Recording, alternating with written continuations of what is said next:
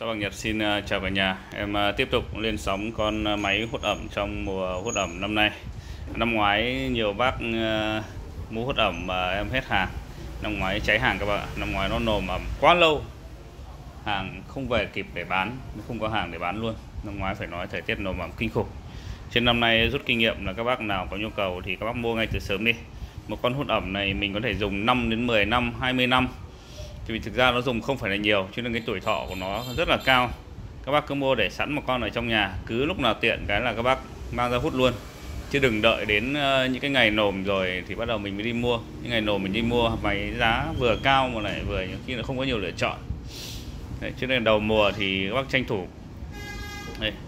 còn uh, tâm lý thì nhiều người thì cứ đợi đến lúc là nó nồm thật không thể chịu nổi nữa rồi thì bắt đầu nó mới đi mua bắt đầu mới đi mua thì nó cũng lúc đấy nó hơi nhỡ đấy. Những cái nổ mẩm nhiều khi nó chỉ có một vài ngày thôi, nó lại hết một đợt. Cứ mỗi một đợt nó kéo dài vài ngày, năm, bảy ngày, một tuần lại hết một đợt. Nhiều khi mình đặt hàng vào cái thời điểm đấy khi nhận được hàng thì lại hết một đợt nổ mẩm ấy rồi. Chứ là đầu mùa các bác cứ tranh thủ đi, đầu mùa nó đang rất là nhiều máy và giá thành nó cũng vừa phải. Đấy. Em nhớ cái con ờ, các cái con hút ẩm có vào thời điểm nó nổ mẩm có giá chênh như cả một triệu bạc. Mà vẫn còn không có hàng để bán vì hàng khi không có tự mỗi anh em để lên vài trăm thôi. Đập đầu mối vào cao rồi là công dọn thợ nó quyền nó cao thêm là, là đã thành cao.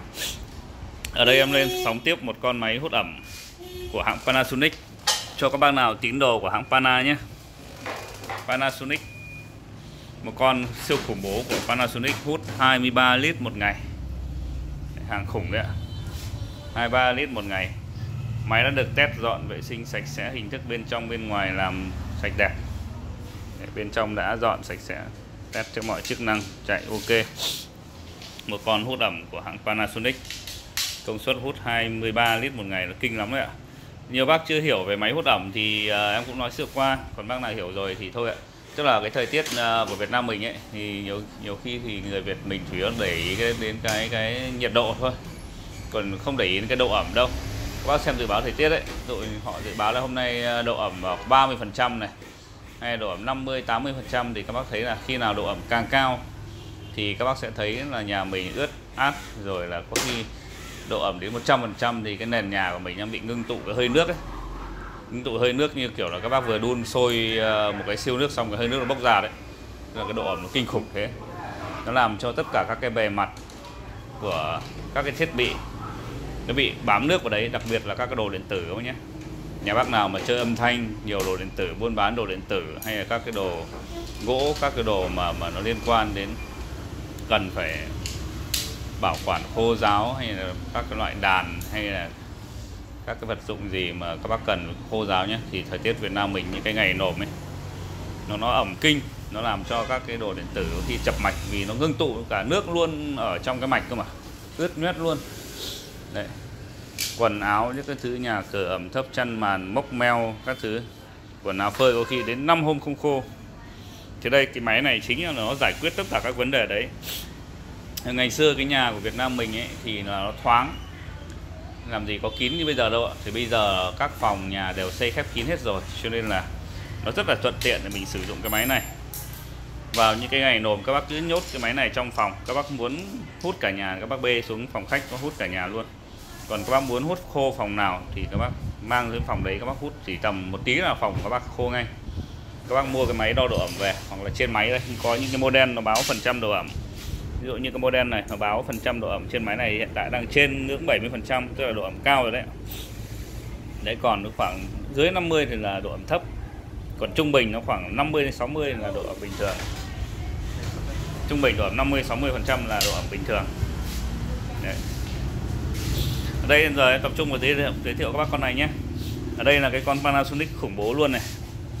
Này con này hút của nó là 23 lít một ngày. Chưa? Điện 395W công suất 395W điện 220V đây là khu vực dàn lạnh nó các bác này. Đây dàn lạnh còn như mới nhé. À dàn nóng dàn lạnh nó tích hợp ở đây đằng sau này. Đây. dàn nóng dàn lạnh